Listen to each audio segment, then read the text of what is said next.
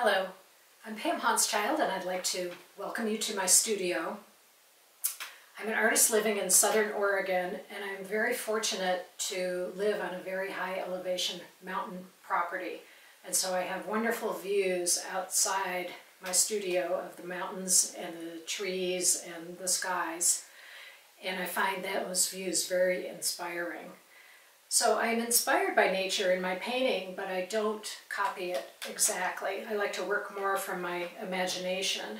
And the reason for that is that I hope with my paintings to present viewers with kind of a new and hopefully different perspective on the beauty of nature and hopefully maybe even inspire some desire to help preserve that beauty. I work with mixed water media in every painting, I usually have a layer of acrylic to start. Uh, it might just be a texturing layer. And in fact, what I usually like to do is build up layers of texture and paint, just a couple layers in the beginning of a painting. I don't work with a pre-planned image. And then what I try to do is work with emergent imagery, try and figure out what I want that painting to be. But after the layer of acrylic, I might switch to another kind of water media, so watercolor, inks, gouache, other kinds of paints, and they all work pretty well together. Another thing I've been doing lately is working with natural objects and getting them onto paintings. So I've been doing some things with rocks and wrapping rocks, driftwood, um, seed pods, and actually getting those onto paintings like you see here. And I find that very inspiring as well.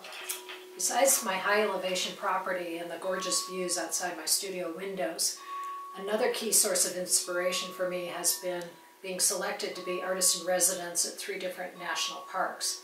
And what was really nice about those positions is that they allowed me to develop new and different series of paintings that were inspired by the location. So one quick example is when I was at Lassen National Park, which was the first residency, I was very inspired by the dark skies there. There's very little light pollution there. And so one night I was laying out on the ground looking at the stars and I decided to develop this series called In My Sleeping Bag, which basically is a painting of the night sky as framed by the trees around it. And you can see here, this is the very first painting in my sleeping bag series.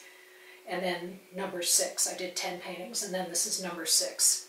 And what I'm doing between these paintings is just changing colors and tree orientation and things like that, but they're a pretty coherent whole. I also teach both at Mendocino and some other locations. And two courses I love to teach. One is on texturing and this idea of laying down textures and paint layers and then working with emergent imagery. And a second course I love to teach is on landscape painting. Uh, I call it contemporary landscape painting because we're working in a very loose and washy style and it's a lot of fun. So let me finish with uh, my favorite quote from John Muir. John Muir said, may nature's peace flow into us as sunshine flows into trees. And I'd be honored if when you view my work, you feel nature's peace flowing into you. So thank you for joining me in my studio. Goodbye.